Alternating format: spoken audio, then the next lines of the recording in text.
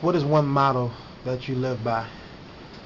Um, I, I think, you know, I kind of put my life into my job, so it has to be about my job, and my job is about kids and about um, not turning around a kid, but but actually trying to help elevate a kid.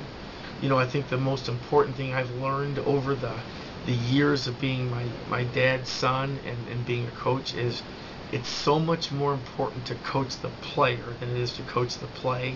And I think that goes in everything in life.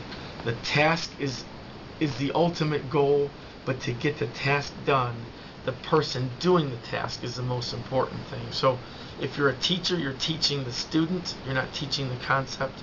If you're a coach, you're keep, you're, you're coaching the player, you're not coaching the play. So I kind of think people get things done a lot, but more than you know, the person that gets the job done is more important than the job done itself.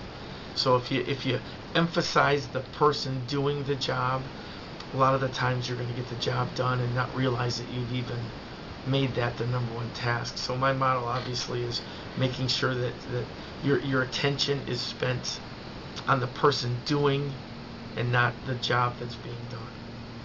Coach, I want to thank you so much for this interview. Um, and I wish you the best in the future uh, to your team, to your success, and hopefully we can see you again. Oh, I look forward to it, Carl. And you being a former player and a current friend and someone that I love so much, uh, uh, if I have continue to have players like you and families like your family, I can't lose here at Morton High School. Thank you, Coach. This is Athlete Lives Network. Once an athlete, always an athlete. Thank you for watching Athletes Lives Network exclusive interviews. We will have more exciting interviews to come as we journey across the state of Indiana to look into the lives of former, present, and future athletes. You can follow us on our website at www.athletelives.com or follow us on Twitter at twitter.com athletelives.